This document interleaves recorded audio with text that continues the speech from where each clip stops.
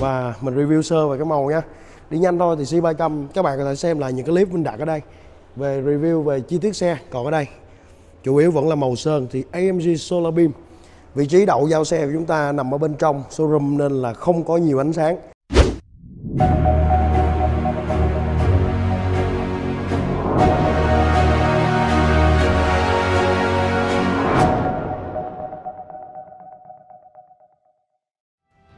Vâng, xin chào các bạn. Rất vui được gặp lại các bạn trong các chuyên mục của Quốc Vinh.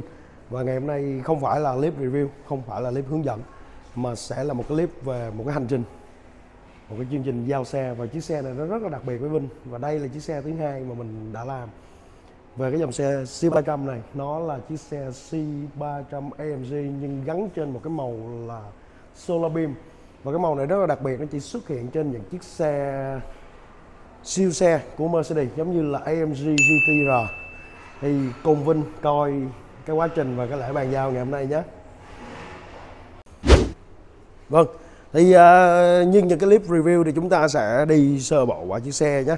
Ở đây Vinh trang trí một cái màu rất là tông sạc tông với lại chiếc xe ngày hôm nay giao của chúng ta một cái combo quay rộng ra cho các bạn xem một cái combo à, vàng chí chóe luôn vàng đen xám phối với nhau cùng với cái phong cảnh giao xe ở Haseko hiện tại rất là tuyệt vời.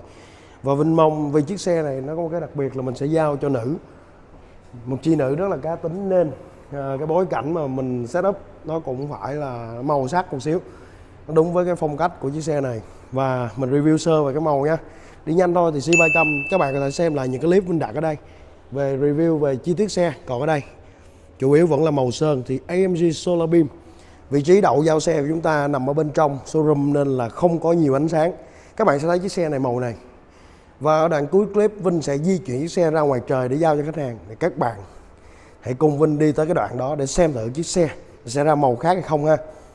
Đi sơ vào những cái đoạn thiết kế với cái đèn C-shape cộng với cái tất cả những cái bố trí và ở đời 2020 này, trên C300MG là nguyên cái nóc màu đen. Các bạn có thể nhìn thấy này. Có những ta đỡ đỡ tốn tiền wrap thêm cái nóc nữa. Vì full kính mà, nguyên cái full kính màu đen ở trên. Kính chiếu hậu cũng màu đen, tông sạc tông với chiếc xe luôn. Rất là tuyệt vời. Và gần như cái màu này là một cái màu không có gì để chê nếu bạn là một fan của màu vàng. Bây giờ cùng Vinh đến với clip giao xe cho khách hàng nhé.